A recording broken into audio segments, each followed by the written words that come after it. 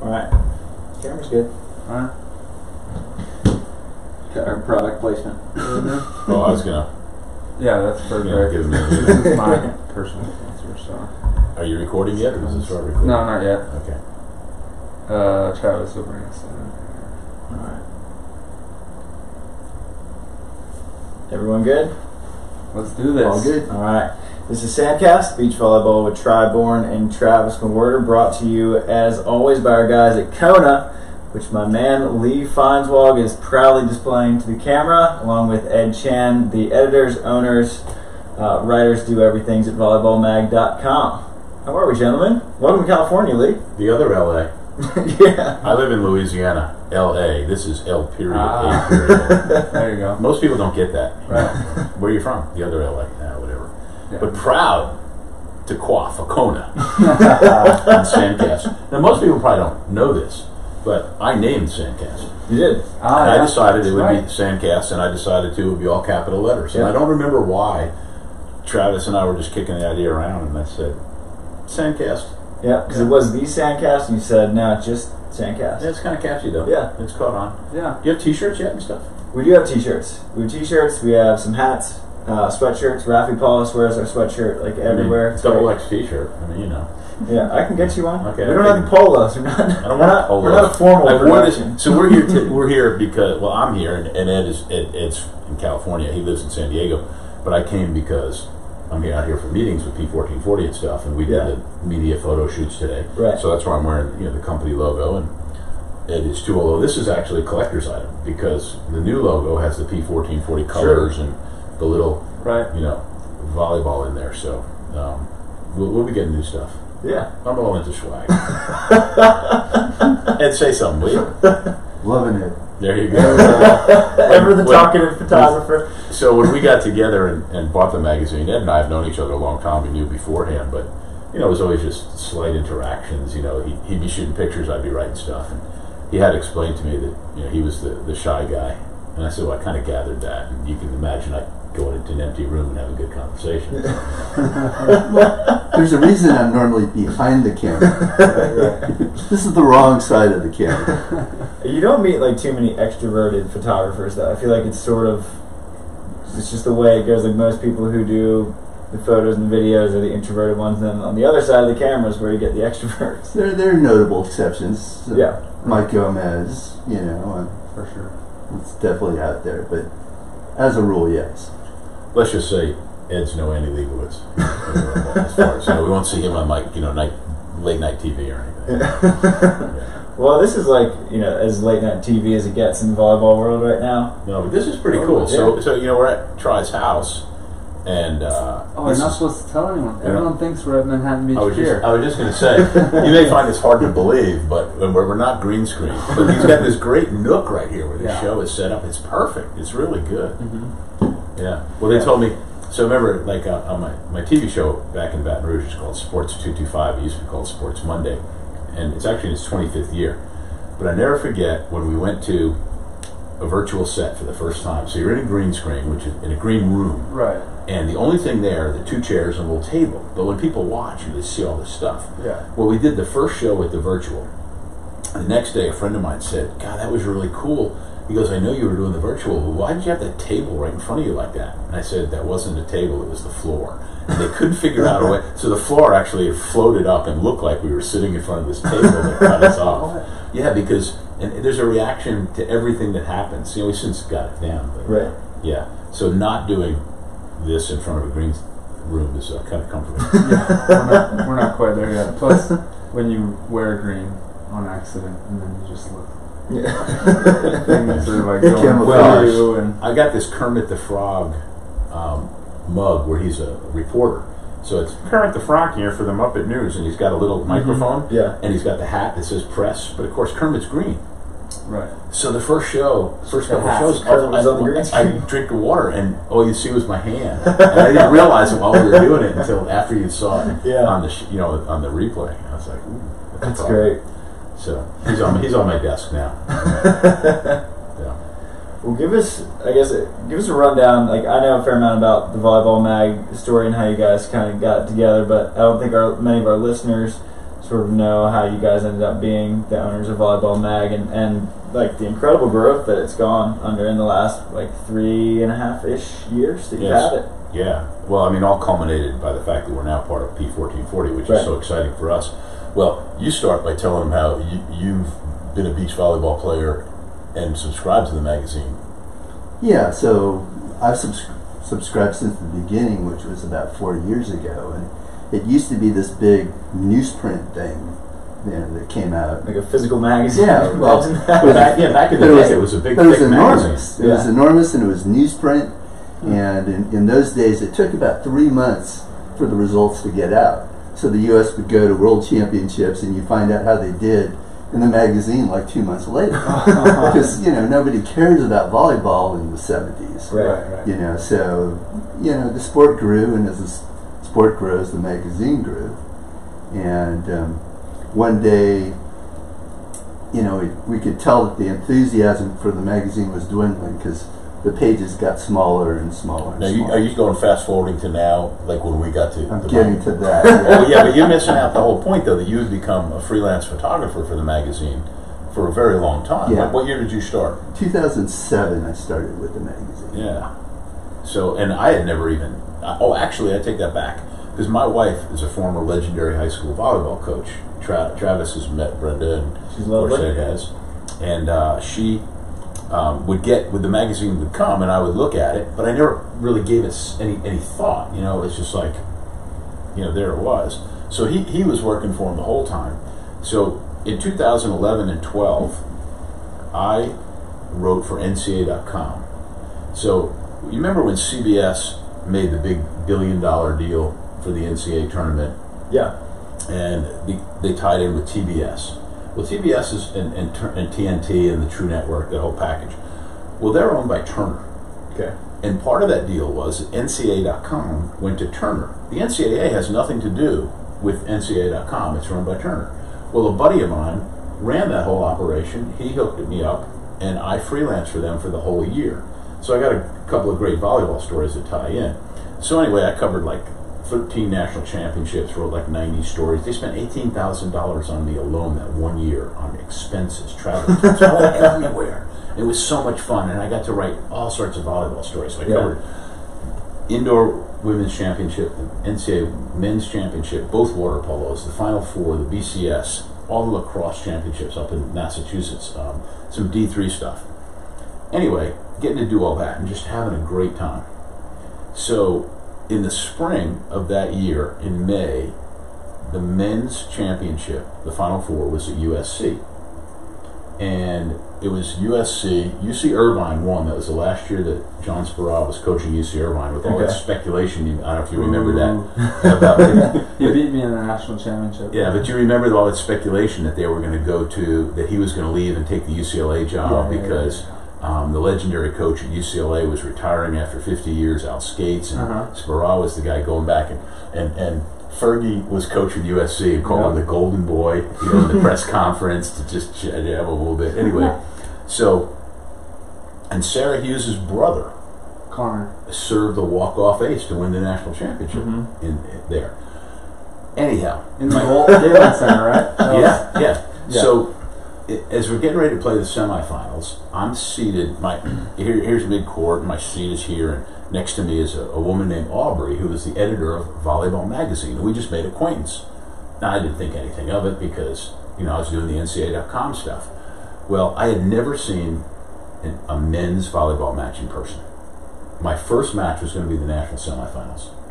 So it's like an hour and a half before the match, and Hugh McCutcheon comes by, and he comes over, and we see each other. And, you know, I knew him from he was he had finished his first year in Minnesota, and we'd done interviews, and Right. we, we shake hands. We visited him, and he, he, I could tell he was out of place. And I looked at him. I said, "Hugh, you sneaked in here, didn't you?"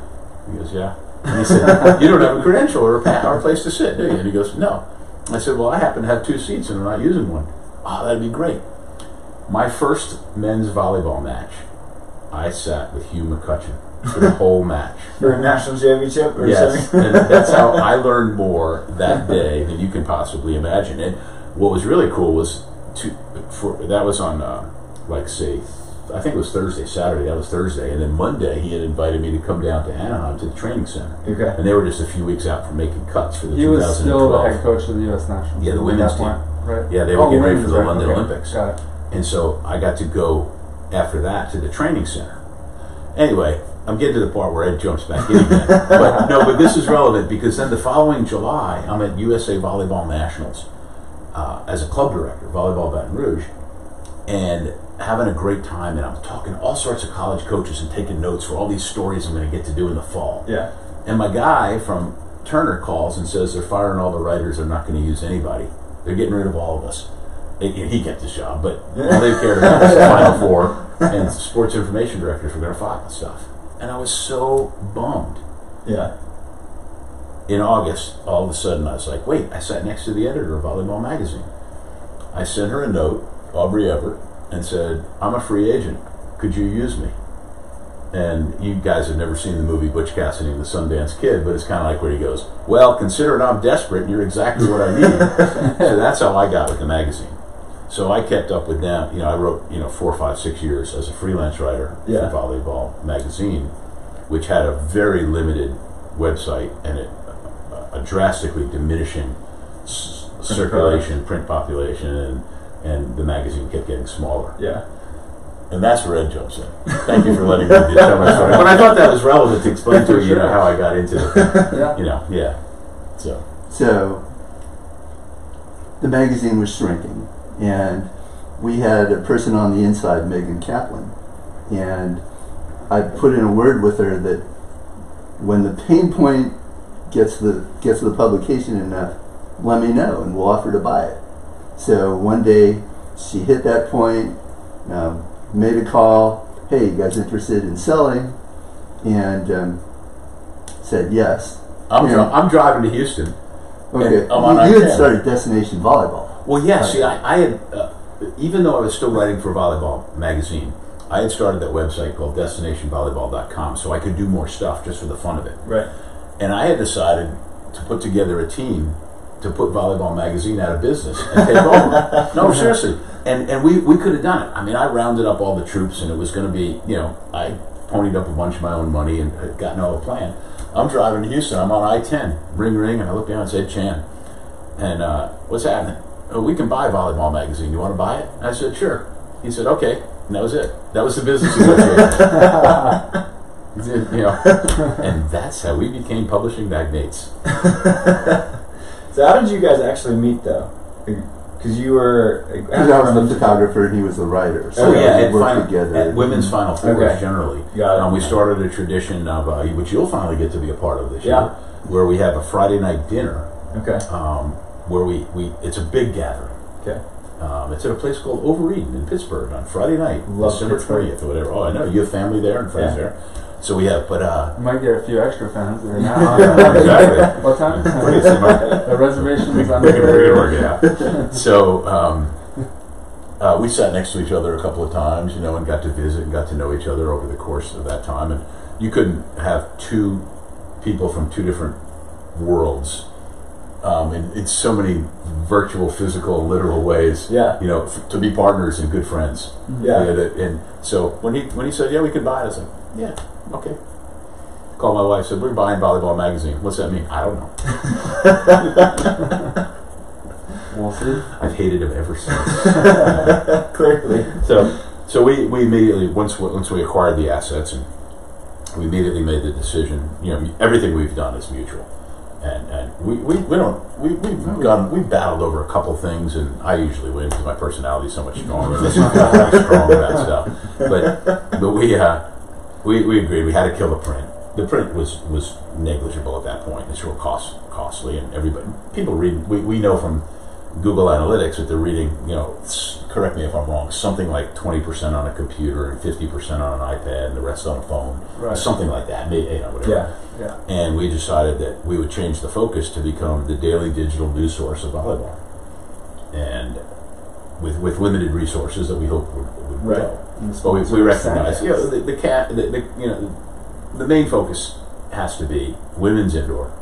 Okay, that's the biggest thing, and then pro beach, and then women's college beach, and then you know, somewhere in there becomes men's men's indoor. I love men's indoor. And Mick Haley, the legendary volleyball coach, Mondays with Mick. We do it every week. You should watch.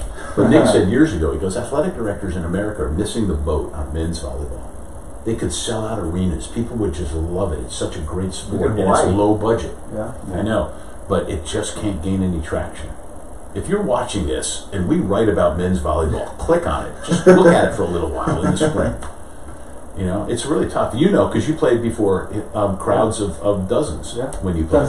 yeah. At places where the you, front row of Galen Center. yeah, where you, where you would think there would be so many people Yeah. interested because the game is so exciting. It really is. It doesn't translate as well to television. Men's volleyball, not like the women's game, because it's because it's it's it's so big and powerful. But when you Right. see it in person, you see these kids touching twelve feet Right. and hitting the living bejesus out of the ball, and then guys dig it. Yeah, Every time they dig a ball, I'm like, When I go back to indoor, I'm always like, whoa, like, did I, am I just gone from indoor so my eyes not used to seeing it move that fast? Or, like, has the game, like, evolved since I've been in indoor? Yeah. Like, I forget what it's like. And it's. Well, when was the last year you played indoor? I played uh, professionally in Puerto, was it Puerto Rico last? Yeah, Puerto Rico in 2012. Well, seven years is a long time in Yeah. the evolution of any sport, but you know, if you go back not that much farther than that, and you think back to how how how short of a time ago we didn't have a libero, we didn't have first ball multiple touch, we didn't have guys and women playing the ball with their hands over their head on so many plays. I watched the gold medal point recently of, uh, wasn't it maybe like 80 Olympics or something when we won the gold. Sorry, I should know that. When we won uh, the U.S. national team won gold. Okay, 84. It might have been before that. Um, but the gold medal point, it was like guys are digging it and then they just like standing there ready to set. It wasn't like anything. You know, it was, Yeah. they were out of system. It was just like stand there and set it straight over to the side, and they were hitting the crap out of them. Those guys were athletic. It was a standing float serve for the gold medal point. Like, this is a lot different than if you watch it nowadays. Well, I mean, you know, the rally scoring is not as good as serve scoring. Serve scoring is a better game. Mhm. But as somebody who was a club director for 20 years and who puts on volleyball tournaments for girls, I mean, I put on two big tournaments. It's really nice to know that basically within an hour you're going to get a match finished. Yeah. You know, Oh, there's totally. there's so much to be said for that. But man, the sport was so exciting. You know, now if you're down 24-20, once out of 50, 60, 70 times you might come back. You were down 11 to 2 in, in serve scoring. No sweat. It's all cool. We can we chip away at this. Right. Yeah. You know? Yeah, Yeah. that's crazy. Yeah. So and then the libero changed everything. Nets, the ball hitting the net and going over changed everything. I mean, it's it's it's in many ways a very different sport. Right. I think the biggest thing for me is first ball multiple hit and playing the ball with your hands uh, up over the over your Serving, head. servicing. Yeah, but just the fact that anybody can do that. You Oh, know, right. and, uh, you know when you when you played like as a kid, Mm-hmm. guys didn't play with the ball up up here on Right, first right, and right. second balls. Right. you Yeah, know, you're right. I'm sure. Mm-hmm. And probably and you were a kid when the libero came in. I think so. Yeah. Yeah. I want like the beach powers that be to stop watching the indoor game and try. You look at the FIVB and they're like all the rules changes they're making are trying to emulate the indoor game. I would it would like break my heart if like you know overhead touches like became legal if like you could pass with your hands and serve receive like they do in indoor. It would My- kill me. My game personally has evolved based on the rule changes. Like we were talking about the other day, my hand Yeah. setting. Like I used to be a disher. I used to dish it, Mhm. just get it out clean, and I loved it too. You know, you take a lot of pride in having no spin, a nice deep dish, coming out clean. But once I got on the world tour and they started calling everything deep and absolutely nothing that's quick up top, I, I just started going. My hands are ugly now, which I used I used to take pride Yeah. in. Now I, I think at least, but it's all just quick. Yeah, know? well, you got to adapt to the rules. Like, you remember three or four years ago, they ruled that it was okay for the setter, and, and this was, we applied this in girls' club volleyball, for the setter to dig the ball out of the net. And if they made contact underneath, digging the ball out, it was okay. It's lasted for Yeah. one year. You're taking out the. You I'll know, give you one. right. Whatever. Yeah. And now, think how much times of our lives is spent watching replays in sports, especially in volleyball. Right. They short, they fight wars in shorter times now to decide a touch call in a women's game on a replay. Oh, You know, and it's only going to get better and worse hmm depending on. Well, now we have the replay system in place. Yes. So that's more commercial time for Yeah. for. Uh, but it's working. The replay system, I Yeah. would say, it works. Yeah, just for one court though, right? It's only on Yeah, it's stadium, stadium. for bigger events. Yeah. It They don't. But Do they have their four stars? Um, I've only ever seen it no. at the majors. Yeah. Okay. Like only the big ones. Yeah. But it, it's a great system and it works. Yeah. That, that's the thing. Like our sport happens so quick and there's so much bang bang happening. Like there's a lot of missed calls and we're all you know programmed to just be like nope nope Yeah. it. and then you walk back to the car touched it and then you high five and you go serve. But I mean, I think it's good that, that those calls are being changed. I would like. I would like to see occasionally, like a player just. I touched it. Come on, give him the point. Everybody saw it. They do. You know. some people do that, right? Yeah. There was well, it was pretty funny, and um, something kind of similar happened in Hawaii. I was playing uh, Rosie and Brian Cook in the final round of the qualifier, and they called me on a set. They, the ref said it was a lift, and Rosie like was like, "Dude, that shouldn't have been a lift. Like that set was fine." He told me he's like, "That was a good set," and he was like, "I'm gonna take the point, but that set is fine." Knowing that you can't change the call now, I'm gonna go ahead and give you that one. there are guys though who will like like you'll you'll see them on the world tour where like if a ball is like sort of questionable whether it's in or out like and they know that like the ref comes and checks the mark they'll just call it in like you build up some honesty points so then when you when you like might you know Oh, yeah. go off your fingertips and no no no no no I'm honest I told you Game- games, I mean, gamesmanship is a big part of sports. Oh, yeah, so there's no doubt 100%. about that. Yeah. The problem is when the ref lets you dictate it. You know, some of the veteran players, I feel like refs will like let them talk or let them take. Their, oh well, I don't want to piss off this player, so I'm just gonna kind of let them talk to me and then let them do their own thing. And I mean, really, they're just using and abusing the ref and the rules. Well, that was like uh, one of my favorite books was called The Jordan Rules. It's all about Michael Jordan. oh, yeah. for And you can sure. there's you know double entendre there. Uh-huh. The Jordan Rules Yeah. or the Jordan Rules. Uh-huh. You know. it's like Tom Brady too, right? yeah Brady got his some a few rules changed in his favor. yeah Absolutely. it's a tough rule now like anybody if you look at Brady the long way and he goes down for the passer below the knees, but that was basically him, right? Because Yeah. he got rolled up on. Meanwhile, back to volleyballmag.com. No, Right. Well, when you guys did buy it, though, like, uh, what was the mindset when you, you bought it? You were like, okay, well, like now what? T- type thing. Like, did you look at it as a, like a, a viable business thing, or were you was this just like because you mentioned you just like had a lot of fun writing these stories and like you were starting destination volleyball? I can't imagine you'd be like, I'm gonna start this to make millions in media because like you look at two two ventures that a business called vbshots.com, Mhm. where I'm try, sure Tri has bought plenty of pictures of himself from you, and if he hasn't, he Yeah, should. appreciate it. but um, you know, it still has vbshots.com.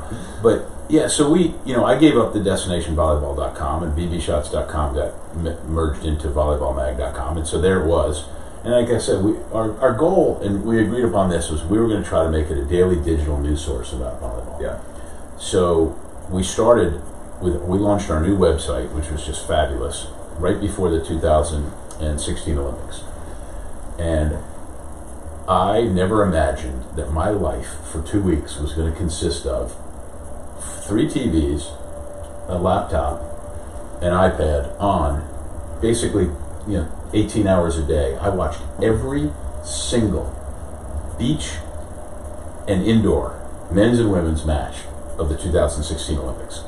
Every match. Every single Not one. every American match. Every match. Wow. And I recorded, I took notes all day, and then I would wake up, crack of dawn, or that night, or whatever I had energy for, and then I would write up the stories. And that's how we covered the Olympics. And then he, he, he jumped in on, you know, some of the stuff. And I don't remember if we had other people helping us. And I remember just thinking when it was over, wait, this is done, and now NCAA women's season's about to start? Oh. Yeah. So what I do there is, you know, I look at every single NCAA women's box score every single day. I do the same thing for the men's during the during the spring because I don't want to miss one important match or one phenomenal performance.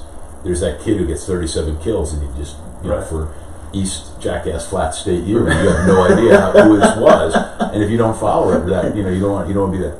So then, you know, of course, and we, we, we did feature stories, and um, you know, Ed jumped in. Ed had never been a writer You know, and my joke with him is, as a photographer, he as a writer, he was a really good photographer. Yeah. But it's a craft that he's had to learn and, and Right. gotten very Still good not at. a writer. No, but, but but he had never interviewed people with the idea that um, well, I'm not only going to like feed a quote to somebody. Wait, I'm going to save all these quotes to write stories. Yeah. And we've had tremendous response to some of the stories. And he's done now college um, indoor uh, stories, but you know mostly on the be- the beach stuff.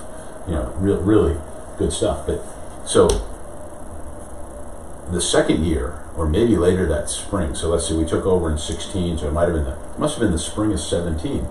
And I got I drove to uh, Gulf Shores, Alabama in May to cover the NCAA Women's Beach Championships, which I love. It was a super event. And that site is Yeah. awesome. Yeah, It's great. No, it's good. And um, a friend of mine named Kyle Blackburn, who lives in Baton Rouge, or now has moved, but uh, had coached volleyball Baton Rouge for me, and is a beach guy who Travis knows. He calls me and he says, "Have you seen this website called Paper Courts?" And this guy Travis who's writing, and I said, "No." And I had flipped on my computer. I'm in the the media tent there, and I flip it on and I read it, and I went, "This is incredibly good stuff." I, I sent an email to the address there, and I said, "Call me." And a few minutes later, Travis Mewhirter called me, and I said, "You're going to work for me." And it's like, you know, who are you? Whatever, you know. And I said, you know, and so we exchanged stories, and I, you know, you started writing stuff for us, Yeah. and I told Ed it would be just a matter of time before we lost you. Well, if you remember too, that that year you started doing stuff for uh, a, a major media outlet like Yahoo or somebody. Yeah. you, did a bunch of stuff like uh, mainstream football and all that kind of stuff. Yeah. But every once in a while, he'd come back and he'd still be doing stuff with us. And then somewhere along the line, we started Sandcast, and then P1440 came calling, which was, you know, great opportunity. Yeah. So the single best part about the merger was, you know, the money was good, but um, but was, you know, I said, well, we get Travis back. So you know, you're finally able to write stuff for volleyballmag.com, and we're able to put things on both websites, and it's really good. I mean, this guy is a, is a, a really good sports writer and a good writer in general. Mm-hmm. And you've written some you know, unbelievable stuff. And when, when you get a little emotional and corny, it's even better. Not, not tonight, thank you. But you know, but you know what I'm saying, Tri. I mean, the guy, the guy's good. Oh yeah, Yeah, and sure. uh, you know, one the, I heard you wrote a book. One of these days, I need to read, read the damn. Okay. Um, but so that was just one of the things that happened. Yeah. You know, along the way, we've got other people. We've got two former editors of Volleyball Magazine. Mike Miazga lives in Chicago, and Megan Kaplan, who lives in Austin, who both Yeah. write for us. And we've got other people circulated around the country. Chris Dabalski used to be at volleyball.com, has now picked up juniors and high school coverage for us. And um, we've got a guy named Guilherme Torres who lives in uh, Columbus, Ohio, is Brazilian, whose English is unbelievable and is starting to cover Brazilian stuff for us. And his first story was fascinating. He wrote about a men's player named, uh, you're going to have to help me here, Leal, Yoandy Leal, who's from Cuba, but has joined the Brazilian men's indoor team. ah, And what he did was he, he interviewed him by Skype in Portuguese and wrote the story in English, but used the video interview in Portuguese on the story. So we can try to appeal to both audiences because the Brazil volleyball passion And number of people is so big. Mm-hmm. Now he he's did he did something on the uh, women's team and he's got more things coming. And of course, you know, beach volleyball is just crazy. Um, the, the way they're churning out. I mean, they Oh, could yeah. they could go one, two, three, and you know both sides Yeah. next summer in Tokyo. It's you know you could, there are the crazy last things. squad was even Well, they can only go one, Yeah. two, right? Because there's only two countries, two. Yeah, they can Right, only go one right, two. Yeah, yeah, but they they could conceivably, Totally. you know. Although I don't, I can see it happening on the women's side. I think in the men's side, it's going to be pretty pretty darn hard right now to beat either the Norwegians or the Germans. And the Russians. Which Russians? Krasilnikov. The world champs. Stoyanov, Yeah. Mm. World champs and world If, if you had to put money on the, besides your, your team, um, You already knew my answer. yeah, besides your team, no, um, Uh, the, putting the, two guys from the two guys from Norway. Yeah, you, You know. you'd be stupid not to put money, your money on Norway, for sure. But I honestly like would not just look at world champs. You know, Yeah. they do have less experience than a- Yeah. a lot of these other teams, and when it comes down to it, and you are the favorite by far, and you're supposed to go in it, you know, things change. You guys- Veterans yeah. can uh, can do Oh. things in the moment that that can change things for people who haven't been there before. I think. You've probably addressed this maybe on the show, and you know, I, I need. I, I'm hoping the two of you even write about this more. But on the United States side, where does it stack up right now? Who gets? Who's going to be the two teams? Who's in the lead? How, who, who would be? You know, is anybody a leader in the clubhouse at this point? I think if like if you look at it, me and Tri kind of talked about it earlier, where at the, maybe the halfway point of the summer, it would be as if like Tri and Trevor were six under par, and like Phil and Nick were two under, and Jake and Taylor were even. Where like it's a nice lead to have, but like you're just two days in, so it didn't really mean anything. Right. It didn't mean a whole lot. And then now I think it's pretty much like because I averaged it out where if if everybody were to have 12 finishes, that it's basically they're almost in the exact same spot. It's like a dead tie between those three, and like there's only really three men's team in the race, whereas like everybody else kind of dropped off. Whereas the women's side, you have April and Alex, who like it would take like something drastic or like really bad for them not to be in the Olympics, and then you have like four teams who like have a pretty legit shot at that second spot. So the women's race is like kind of is like insane for how deep it is, whereas the guys it's just like a three horse race. So what do you got to do? How many you got to Get win? better at volleyball. That's what I Get gotta more medals. Well, number one, I gotta stay healthy. That's that's been Right. the main thing. Um, But I meant in terms of like, you, do you have to win? Do you have to just so finish it's, good? it's, a, it's a to- point. It's a points race, which is kind of boring, I think. Um, but yeah, so it's your best. It's your best twelve finishes Right. from this whole past season to all until up until June 2020, and uh, I think that's about. There's about seven events out. I, I got to see the schedule, but it's not out yet. It's not official, and it always changes. But there'll be about seven events. Nothing in America. Nothing in America, unfortunately. Um, but yeah, it's all about points. Basically, whoever has the highest average finish is, is going to go. And right now, it's a three horse race, so two of the three are going to go. Same thing as last squad. Uh, Hayden and I ended up being the third team, but it was really between Nick and Phil, Jake and Casey, Hayden and I. Um, but I won't be in that position this time around. See, in in swimming and track and field, for example, you can miss going to the Olympics by one one hundredth of a second in an event because they have trials, Right. and it's part of it. You can get sick that day. It, it, yeah, yeah, it happens. yeah. But in beach volleyball, it's the damnedest thing. You don't have trials. It's just this year long, um, you know, lifetime achievement award for the last three years. Yeah, you know, right. picking up, and I personally have problems with that. I would rather see a tournament, an FIVB style tournament. Can I get on my soapbox now about you know a non-beach guy watching the beach and trying to understand? I the AVP is stacked. Okay, I think the AVP has done a fantastic job. The, the Amazon Prime is great. I love what they're doing, Yeah. and uh, you know Barnett and Camryn Irwin, they, they've, they, they just do such a great job. Um, I love the freeze rule. I think that's a fantastic thing that they put in. But I don't like the fact that the top four teams basically get to sit back and, and watch people beat their brains out for two days before they really have to do anything. And it's so unfair that nobody, I say nobody, you know, a 1 in 15 shot has a chance of coming out of the qualifier and even getting to Saturday, it seems like Yeah. you know, because and the the, the wear and tear, whatever. Anyway, so that's my soapbox.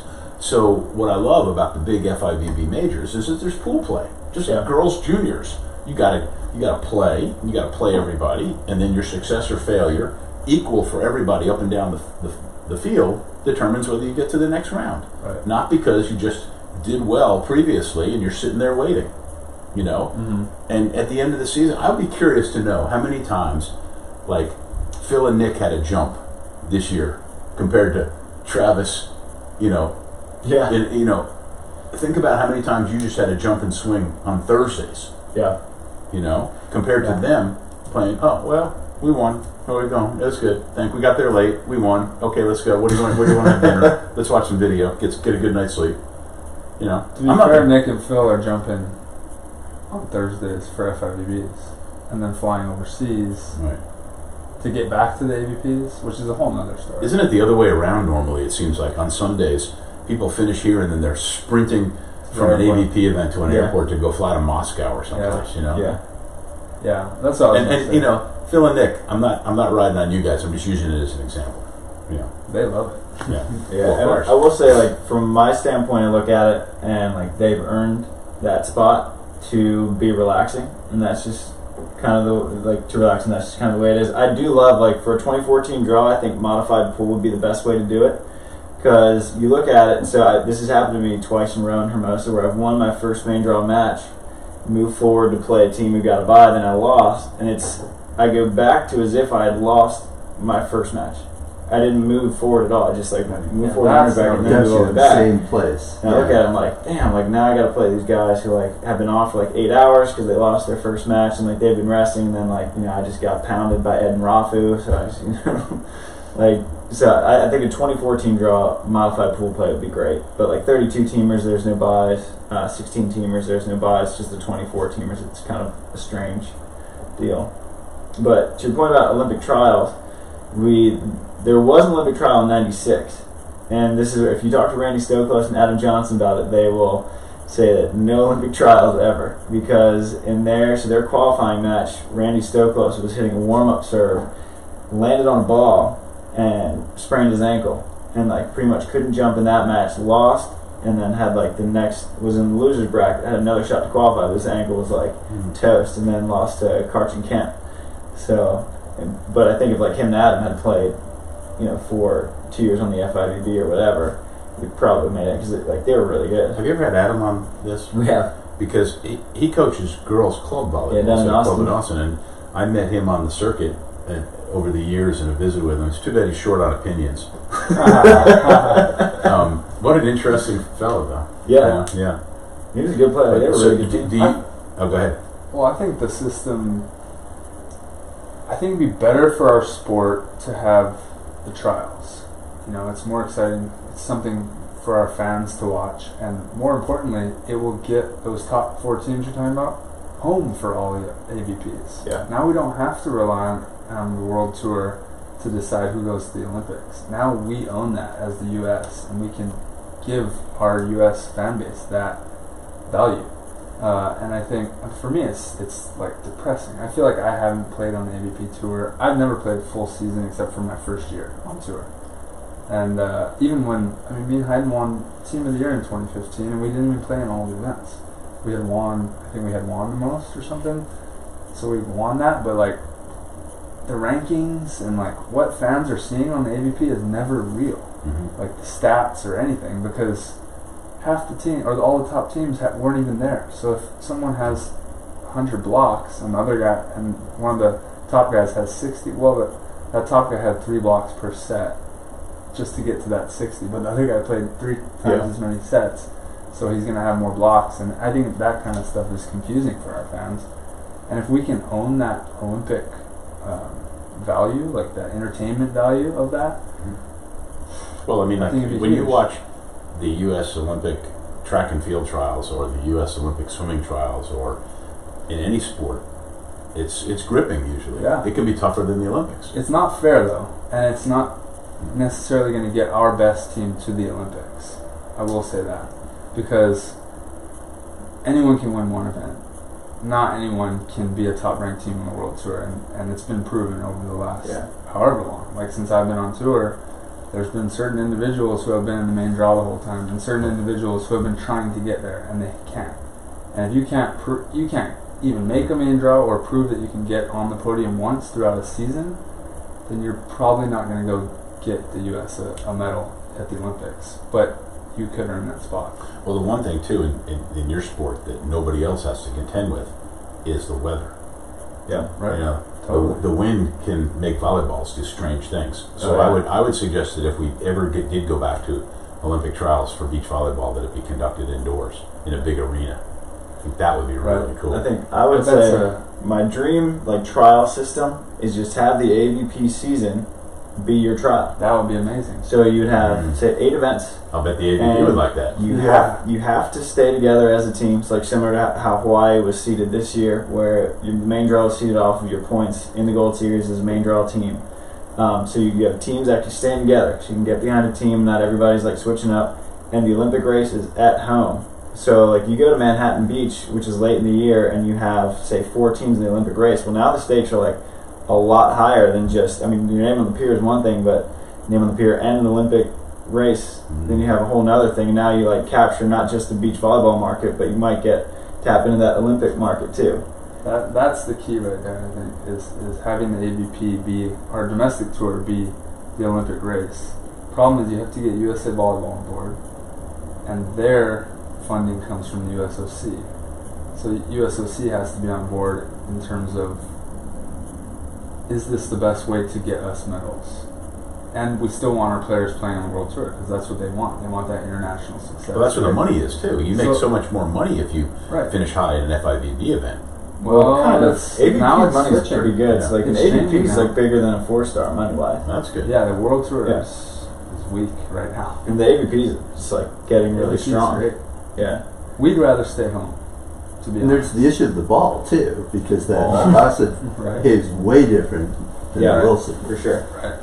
And everybody likes the Wilson. Yeah, so I was.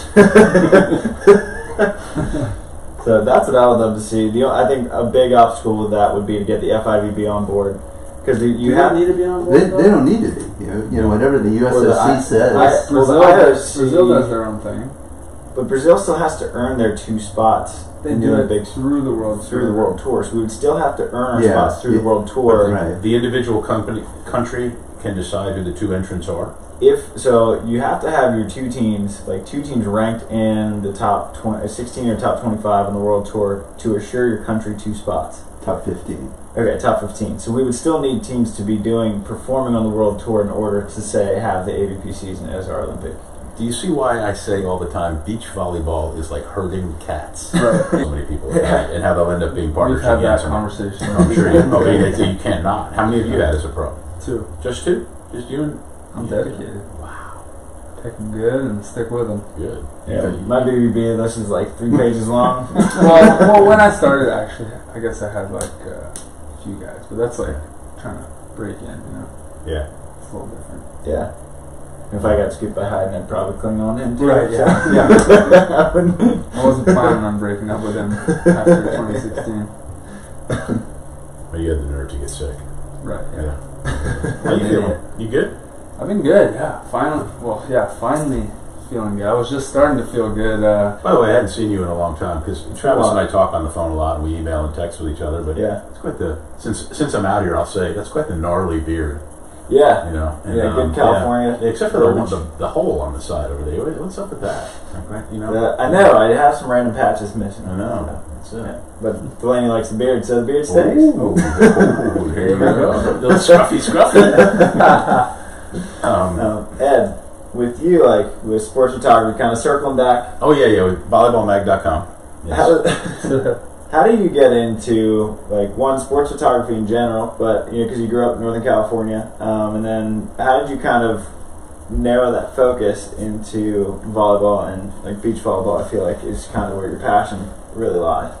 So, yeah, I've I've been a big volleyball fan since 1976, and in 1978 I went to this enormous grass volleyball tournament, the Berkeley Open, probably over 150 nets, and I thought this tournament is really cool. Wouldn't it be great to have some photos of this?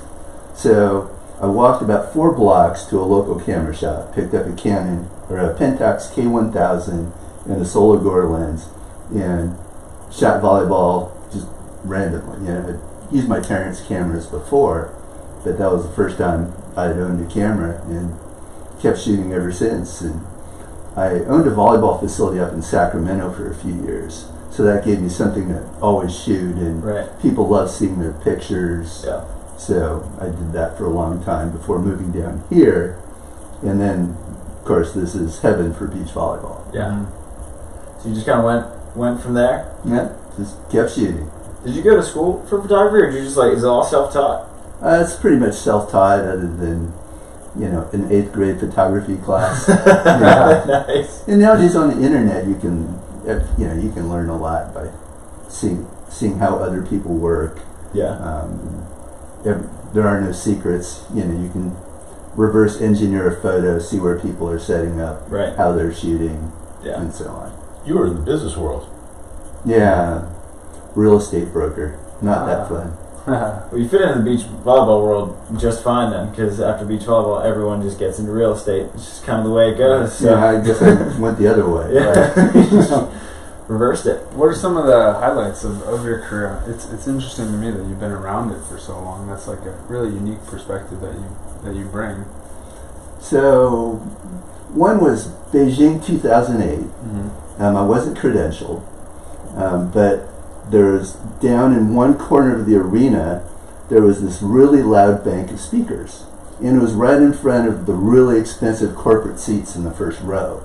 So people could not sit there for three hours. Right. you Right. just could not. I mean, but so they always moved somewhere else. So I could always go shoot there, you know, and I'd buy the cheapest seats I could find from some Chinese scalper, you know, and I would work my way down, you know, seven rows at a time in order Right. not to get busted and kicked out. Uh-huh. So I got to that front row and I could cheat there the whole time. And I, um, Phil, Phil and Todd were in a third set against Brazil. Made an amazing comeback. I think they were down 11-4 or something. in Right. the Third. And then Phil put on a blocking clinic on Marcio, and he pretty much retired right then. but and I have a great shot of him over and just stuffing Marcio, and the balls. Marcio can see the ball down at his chest, and that's my favorite photo for Yeah. sure. So Those photos I've seen of that Olympic Games was like Phil was just an absolute freak of nature. He was getting up so high. Yeah. Like now you can you can kind of see it with Anders gets up like that, but like Phil, young Phil was ridiculous how high he was getting. Like, and, and that was in a period where there weren't that many people, people didn't that know how had to that play kind against of that for sure. When I first came out, I didn't know how to play against that, so I first came out, I was hitting the normal shots, and it's like that wasn't supposed to be within your reach. okay, I'll just go over. Oh, you can swap that too. Okay, I guess I have to change my entire game. But now there's a bunch of them, like you said, and back then I can't imagine like guys dominating the tour, and then Phil comes out and you're just like you just can't play the same style of volleyball anymore because he's such a freak. Yeah. Every year, we, I get Ed to do his, the, you know, his top ten favorite photos Mm-hmm. and beach photos, and he puts them together at the end of the year, and it's really spectacular. Yeah. Uh, but but there's two photos in particular that we've run and, and used. One was a Penn State uh, winning a national championship, and there's a couple photos around at the penultimate moment of the celebration, and you look at them and you go, those are really good photos. But Ed's is just that much better, and it, it's it's just a little bit. When you look at it, you go, wow, our picture is so much better than their picture. And then there's a picture of Stanford winning last year that there's a, there's a picture out there that shows Kathryn Plummer coming in from the left and she's jumping and all the emotions. The picture's almost identical, but Ed's picture has Kathryn Plummer a split second after that with her ponytail flying up in the air. And when you look at the picture and you go, "Wow, this picture's so much better than the other picture." Yeah. So that's the kind of stuff that he does. But how many pictures do you shoot in an average AVP weekend? probably 10,000, 10 to Oh, 12,000. I'd put the over under at 2,000. Holy cow. Yeah. That's so many. And then You you, gotta gotta like then editing. pick what? Well, I, I try to clean them up as much as I can. I Right. usually go home with about 3,000. Okay. I'll process around 1,500 and around 900 will get to my website if ever. Yeah, right. See, Wow. So you guys talking about Phil, um, and the first volleyball match, beach volleyball that I ever went to, outside of like just going to Mangoes in Baton Rouge. Yeah. We we were in Berlin on vacation. Brenda and I went to uh, Berlin for a few days, and we were taking a little boat tour. You've been to Berlin probably. Yeah, I'm hoping you're talking It was about your first win, right? Yeah. Was this been like 11, 12 years ago? Wouldn't have been that long. No, ago. no, no. no. Yeah. So 2014. I played in Berlin. Oh, it was way before that. Anyway, the, the boat goes around this curve in the river, and I said to her, and it was cool boat tour. You could drink beer and stuff on the boat, you know, Yeah. and watch the stuff. And it's just it's a river in the city. And I said to her, volleyball. She goes, what? And I said, listen. And, you know, there's a cadence to volleyball whistles. Oh, she yeah. goes, you're right. And we come around the corner, and there, set on the banks of this river, is a big FIVB volleyball tour. I didn't know anything about it. So anyway, the boat goes back, and I get back in, in the hotel, and I'm looking at the internet, and I go, "Oh, there's a big beach tour here tomorrow. I mean, tomorrow's the finals. If you want to go?" And it was just the women's final and the men's final, and she was like, "Yeah, let's go." You know, I mean, Brenda was a big time volleyball coach. She never Yeah. played beach, but and I had never seen a beach one. So we we go, and it was free. We walk right in, you get these amazing seats. Everyone's We're sitting with always all the Germans. surprised. Well, it's the biggest. oh, so can you give me tickets? I'm like, It's the biggest free. mistake they've ever made. Yeah. Oh, how great can it be there? Yeah, but that's what, that's that's the biggest mistake that volleyball Right. ever made. Beach well, volleyball. they're still making it, so You there's know, got to be a reason. It should have been, even if it cost a quarter. It's because they're scared not to have the stands filled. Well, so I we think- watch, and I remember being so impressed with uh, Phil, who was a, a new, a, you know, a new face on the on the Um, yeah. on, in the sport at that time. I think at that level, Totally. and then I got to watch Kerry Walsh Jennings and Misty May play, and I think they beat a Chinese pair in the final. And I will tell you, I've covered, I've covered everything. Okay, I've been lucky enough as a sports writer.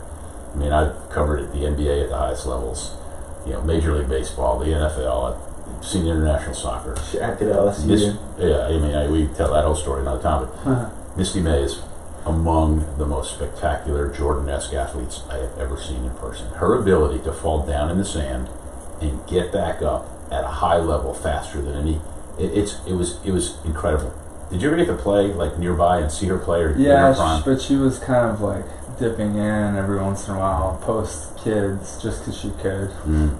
Like, Yeah, not, not yeah. like legit I got it. you know, I- I, got to watch It was she she was the most explosive, Yeah. fast twitch muscle fiber. Now her partner wasn't bad. Kerry's pretty damn good, you know, and but but a different position and a different body type. Yeah. And Misty, I've never forgiven her for costing us at least two indoor gold medals by turning to the beach.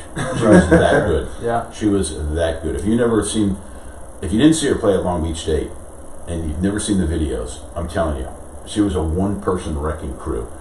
And on the, I, I remember just thinking it was the most amazing thing I've ever seen, um, because I was just so taken aback by it. I mean, I'd seen Michael Jordan play, and I would put her athletically in that category. Yeah. You know, and then um, since we're not on a time frame here, I can just so afterwards the match ends, and it was like this. You know how they make those beach complexes, and right across is a train station. I love European train stations. They're That's where we played, yeah, right Yeah, in front of the train right. station. And I said to Brenda, I said, let's go to the train station because I want to look around and I need to use use the restroom anyway. So we go over there and uh, um, we come out of the bathrooms and in the train station is where they're doing the post-match news conference in the train station. And we walk over and there's two um, interviewers talking to Kerry and Misty who would immediately, you know, they take their, you know, wraps and so they had their, you know, Right. kind of dressed up for the interview. Yeah. And Misty was asked a question about um, liking coming to Berlin. And she gave some answer, and the interviewer wanted more and looked at her. And Misty goes, and world peace. and we busted out laughing, me and Brenda, but nobody else laughed because nobody else got it, right? And Kerry looks down at us and goes, You American? And uh, it's like, Yeah. So afterwards, they came over and we visited, and we turned out we had a lot of mutual friends and stuff from volleyball and meet, met with them. And for my TV show, they actually cut a promo that was really funny. Kerry and Misty did. And uh, that was my first pro beach volleyball tournament. Not a bad yeah, intro. that was pretty funny. We had this great Get to meet the conversation. greatest with team them. in They history so- of team sports. and they were so funny, you know. They were so good for the sport, not only because of their ability. Like, I mean, you take Phil, his physical ability and, and his dominance. You could you could compare the two, but what they did off the court and the the level that they reached as American professional athletes, like that raised our sport so much. Mm. Well, you know, I, I've been around Kerry under a lot of different circumstances, long before we became part of P1440, um, at, at NCAA Final Fours, at uh, the beach championships for the NCAA, and she's tireless in visiting with kids Right. and, and women and posing for selfies and signing autographs and just being so nice and, and not just an ambassador to the, for the sport, but just as a nice person. And that goes such a long way. I mean, there's a lot of athletes out there who can just be such dicks, and they don't have to be. Yeah. You know, because that li- that one little kid, you know, that you can influence in a positive way. And um, I, I can't say that. I mean, I assume Misty was the same way, but I just haven't been around her as much under those circumstances. Um, but you know, Kerry, I mean, unbelievable. Yeah. Yeah. I think a, a big part of it is just kind of educating the, the players on the business side of things or, or the media side of things and understanding what our sport is off of the court. Because I, I never really got that introduction. I just came out and I figured I, if I win, then all this stuff comes to me. And but then I realized like no, you kind of have to create it. You have to go get an agent who uh, or you, you don't need an agent, but you have to create value for yourself. Create create value for the sponsors. They don't just show up and say, "Here, wear a hat." Like here's a bunch of money. You have to actually bring value to the table. Well, you know, the thing is too that as, as a sports writer talking to an athlete, you know, be a good post match media interview. When I talk to you on the in between days, you know, just be honest, have fun, right. enjoy it, and then afterwards, you know, don't be in a big hurry when a when a sporting event is over. Kid mm-hmm. wants your autograph. People want to shake your hand. They want to do it. You know, just That's part of it, right? Yeah. I think people need to understand that that's part of what Right. we're doing.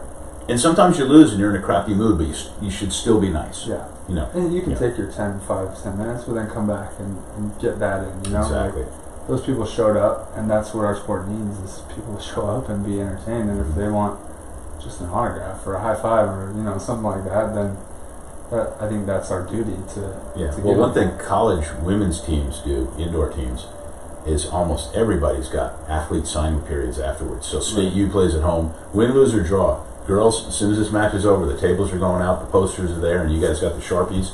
And no matter what happens, there's a couple hundred little girls who, who line up and their families, and they want to, you know, shake hands, take a picture, sign the autograph. The World Tour does a good job of that by having a media section. Like when you play, getting their everyone's getting their interviews, but then the fans line up right outside of the mix zone office, and, and I think the tournament kind of tells them to meet there, or it's just where the athletes come out. But I think that's important too, is for the tour to kind of facilitate those opportunities for the fans to engage and for the media, because I'm sure it's hard to chase people down. Like if I'm pissed off, yeah. Ed might not catch me. Like I might be gone and I'm hiding somewhere because I don't want to. Well, that's where that's where relationships and reputations come in. Like, um, totally. you know, like uh, I was in Japan Mm. for the pre-Olympic tournament, and uh, there were a couple people who lost, but they were like, and I, I think I'm giving myself the credit I deserve here. It's like, all right, he's all he's come all the way here. He's interviewed me in the past. Mm. You know, he know, you know, you know, I know I'm going to get a good question. You know, so Right, Yeah. totally. And like, you or just get their phone number. Like, Yeah. Ed can text me.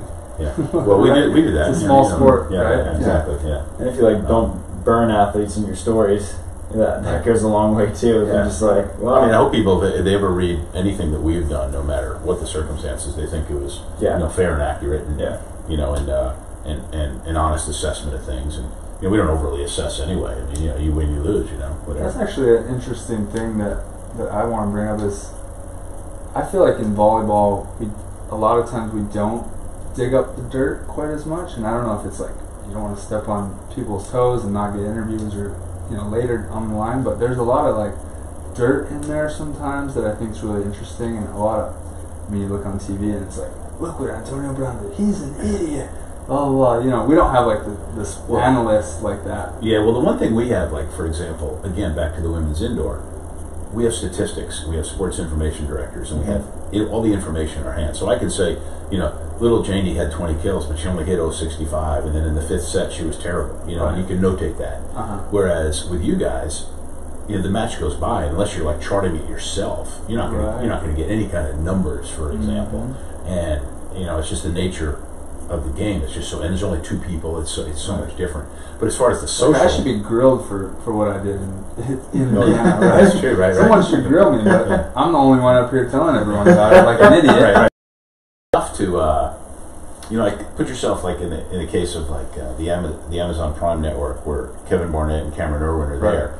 You know, they can be critical or analytically critical, but only to a point because a they're there for the whole tournament. They're there for all eight tournaments, and then win, lose or draw, they're going to want to have conversations with Right, you. exactly. And so you you've got to know that line. But I think any athlete will respect fair criticism if you point out factual things. Again, like Totally. um, you know, uh, player X Y Z hit into the net four of the last five times he swung, and that's why they lost the match. Mhm. That's a fact. Right. They might get angry that you analyze it that way, like how you know, why, but, but that's okay.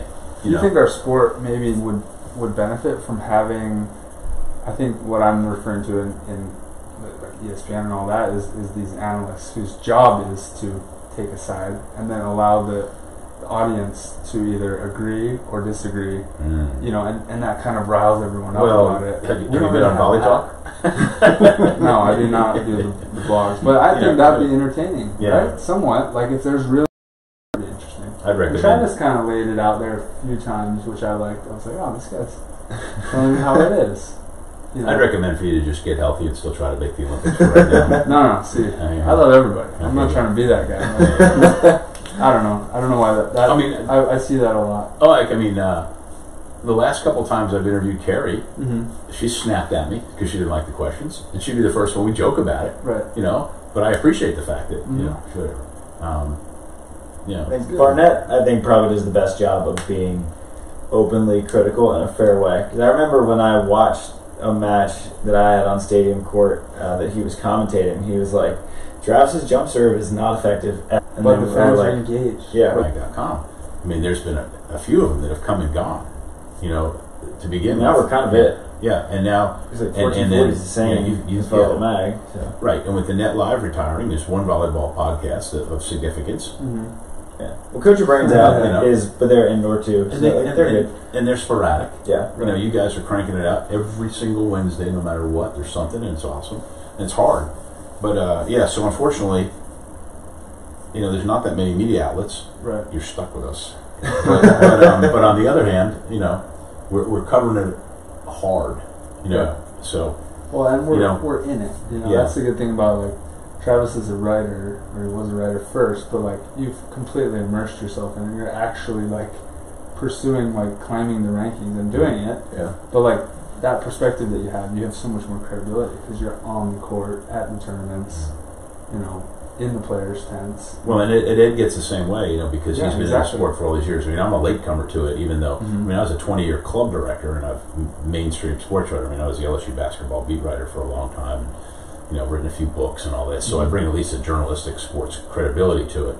You know, you can question my, my volleyball analysis if you want, but not my passion for it. You know, you Yeah. know. But yeah, so so you know, all of you are lucky that you've got us. You know, you know, so. It's all about the yin and yang, right? Like this show wouldn't be anything if I didn't have Travis, who actually has the journalist background, or else it'd just be me and maybe some other athlete just like talking, and people would be like, I can't listen to this. Like, the conversation's all over the place and blah blah blah. I think you do like undersell like what you bring to the table though, because athletes are so comfortable because you're there. And I Mhm. know at least at first I think like now that like you said like I have like become like a le- pretty legitimate player in the sport that they're a little bit more comfortable like Right. talking to me too. But like like April Ross and Phil and Kame in our first like five episodes, it would have never happened if it was just like. Hey Phil, I'm a journalist. I like Yeah. lo- lose 21-9 first round of qualifying. They're definitely doing me a favor. Like, all right, Chad. Like, Yeah. let's, let's Yeah, but to let's your credit too, the, you, the people you guys have come on Sandcast come and they're wide open. You know, they're they're open, And- and I think they that tell is what- big- yeah, Tri brings. yeah, and they tell good stories, and you ask, and you ask, you know you're a good interview. You ask good questions. I always find it fascinating about um, the stuff that happens off the court and the lifestyle things that athletes have to deal with, and you guys get get them to talk about Yeah. that. I mean, you know, whether it's diet or travel or Yeah. their social lives and stuff, and that that stuff's pretty fun. That's what I wanted because I, Yeah. I was having these conversations with these athletes overseas, and you know, I was bored. I was like, "This is value right here. Like, people want to know about this stuff in Yeah. our sport. So Yeah. how can we do it?"